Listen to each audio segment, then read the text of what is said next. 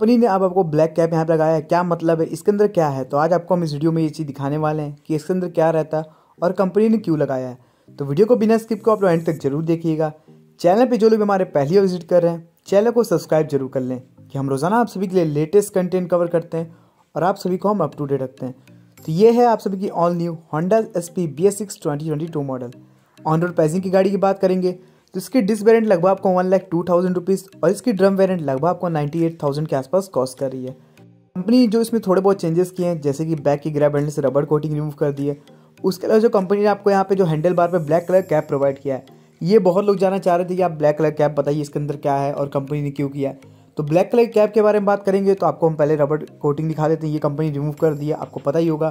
तो अगर आप अभी लेटेस्ट वेरिएंट इस गाड़ी की परचेस करेंगे तो आपको वहाँ पे बैक पे ग्रैब हैंडल पे रबड़ कोटिंग नहीं मिलेगी। उसके अलावा ये आपका रहने वाला ब्लैक कैप यहाँ पे देख सकते हैं कंपनी ने आपको ब्लैक कैप लगा दिया है। तो चलिए फिर आपको दिखाते हैं इस ब्लैक कैप के अंदर क्या देखने को मिल जाता है। तो ब्लैक कैप का जो सबसे बड़ा रीज़न है कंपनी चाहती है कि जो उसके स्क्रू है, उसको प्रोडक्शन के लिए कंपनी लगाया है। ताकि जैसे जंग लग जाते हैं, खोलने में दिक्कत होती है तो ऐसा कोई दिक्कत, परेशानी आपको फेस ना हो।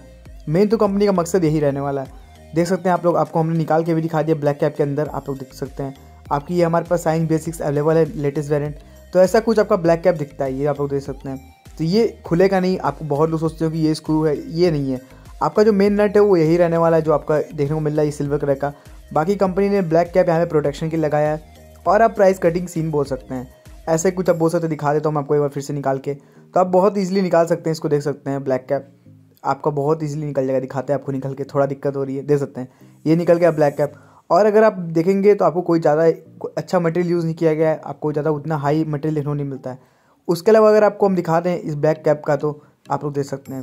तो ये कुछ रहने वाला है, थोड़ा बहुत जंग ना लगे, इसलिए कंपनी ने प्रोडक्शन के तहत आपको ये ब्लैक कैप प्रोवाइड किया है। ताकि जानते हैं प्लास्टिक में जल्दी जंग नहीं लगता है तो इसलिए कंपनी ये सोच समझ के आपको यहाँ पे ब्लैक कैप प्रोवाइड किए। और बाकी इसके अंदर आपको ऐसा कुछ तगड़ा देखने को नहीं मिल जाता है, जो आप लोग चाहते थे।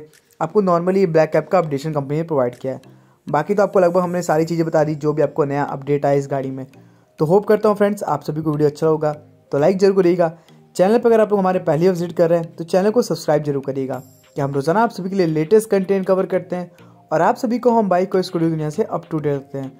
लोग जाना चाह रहे थे कि कंपनी ने यहाँ पे ब्लैक कैप क्यों लगाया है, इसलिए हमने सोचा एक डिटेल्ड वीडियो इसके ऊपर कवर कर लें और आपको जो इसका ब्लैक कैप है, उसको अंदर बाहर और उसको ओपन करके भी दिखा दे, कैसा कुछ आपको देखने मिल जाता है। Thank you for watching video और चैनल को ज़रूर सब्सक्राइब करें।